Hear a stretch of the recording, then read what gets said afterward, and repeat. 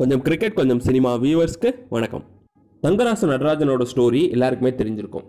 ஆரம்ப காலத்தில் ரொம்ப கஷ்டப்பட்டு டிஸ்ட்ரிக்ட் டீமுக்காக விளையாடி அதுக்கப்புறமா ஃபர்ஸ்ட் டிவிஷன் டிஎன்பிஎல்னு ஆடி ஐபிஎல் கான்ட்ராக்டும் கிடச்சிது. ஐபிஎல்ல நல்லா பெர்ஃபார்மன்ஸ் பண்ணதுனால இந்தியன் டீமுக்கும் செலக்ட் ஆனார். இப்போ டெஸ்ட் மேட்ச் வரைக்கும் நல்ல பெர்ஃபார்மன்ஸ் பண்ணி கலக்கிட்டு இருக்காரு. ஆனால் நடராஜனுக்கு இனிமே தான் சவால்கள் காத்துட்ருக்கு ஆக்சுவலாக கடைசி இருபத்தஞ்சு வருஷமாக இந்தியன் கிரிக்கெட் டீமை பார்த்தோன்னா நட்ராஜனை சேர்த்து வெறும் ஒம்பது பேர் மட்டும் தான் லெஃப்ட் ஹேண்ட் ஃபாஸ்ட் பவுலர்ஸாக இருந்திருக்காங்க. ஆரம்ப காலத்தில் ஜகீர் கானும் ஆஷிஷ் நெக்ராவும் இந்தியாவுக்காக நிறைய வருடங்கள் கிரிக்கெட் ஆடினாங்க. அதுக்கப்புறமா இர்ஃபான் பதான் ஆர்பி சிங் இவங்க ரெண்டு பேருமே கொஞ்ச காலத்துக்கு ஆடினாங்க.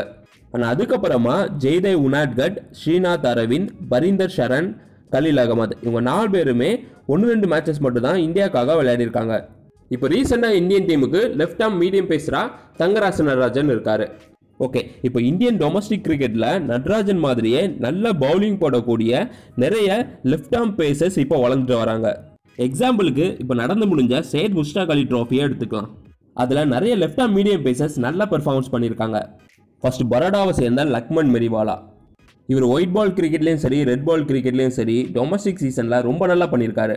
போன வருஷம் ஐபிஎல் ஆப்ஷன்லேயே இவர் சோல்டாக இருக்க வேண்டியது. அன்ஃபார்ச்சுனேட்டாக இவர் ஆகலை.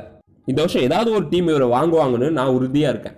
அப்புறம் சேத்தன் சக்கரியா இருக்காரு. இவரும் நல்லா பவுலிங் போட்டுட்டு இருக்காரு. அப்புறமா அன்கித் சௌத்ரி. ஆல்ரெடி ஆர்சிபிக்காக விளையாடிருக்காரு.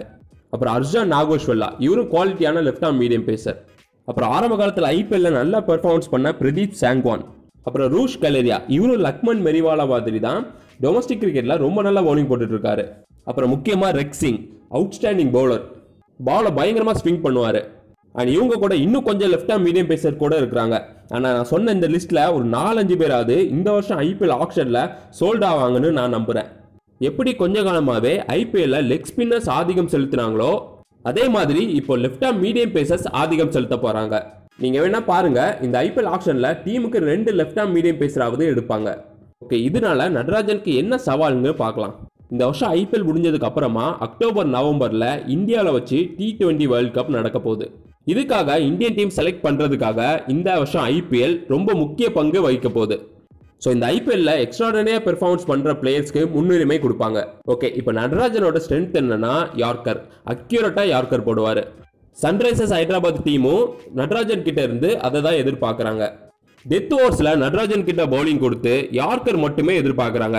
இதனால நடராஜன் ரன் கொடுக்காம இருந்தாலும் விக்கெட்ஸ் அவ்வளோவா கிடைக்கிறது இல்லை சப்போஸ் இந்த ஐபிஎல்ல லக்மன் மெரிவாலா மாதிரி ஒரு பவுலர் இருபது விக்கெட்டுக்கு மேலே எடுத்தாங்கன்னா செலக்டர்ஸோட பார்வை அவர் மேலே போகிறதுக்கு வாய்ப்பு இருக்கு. ஸோ இதனால நடராஜன் இந்த வருஷம் ஐபிஎல்ல பவுலிங்கில் நிறைய வெரைட்டி காட்டுறதுக்கு சான்ஸ் இருக்கு. யார்கர் மட்டுமே போடாமல் நிறைய ஸ்லோவர்ஸ் கட்டர்ஸ் பவுன்சர்னு போட்டால் தான் விக்கெட் கிடைக்கும். இதனால நடராஜன் யார்கர்ஸ் மட்டுமே போடாமல் விக்கெட்ஸ் எடுக்கிறதுக்கும் ட்ரை பண்ணுவார் இந்த வருஷம் ஐபிஎல்ல ஸோ இந்த மாதிரி ரன் மட்டுமே கட்டுப்படுத்தாம விக்கெட் டேக்கிங் டெலிவரி நிறைய போட்டாதான் ஒரு ஜகீர்கான் மாதிரி அது ரொம்ப வருஷம் கிரிக்கெட் கெரியர் ஆடலாம். ஸோ நடராஜன் கிட்ட இருந்து நான் எதிர்பார்க்கறது இந்த வருஷம் ஐபிஎல்ல குறைஞ்சது இருபது விக்கெட்டுக்கு மேலே. பார்க்கலாம் நடராஜன் என்ன பண்ணுவார் அண்ட் மற்ற லெஃப்டா மீடியம் பேசர்ஸும் என்ன பண்ணுவாங்கன்னு. உங்களுடைய ஒப்பீனியனை கமெண்ட் செக்ஷனில் சொல்லுங்கள் இன்னொரு ஐபிஎல் பற்றின வீடியோவோட உங்களெல்லாம் வந்து மீட் பண்ணுறேன் பாய்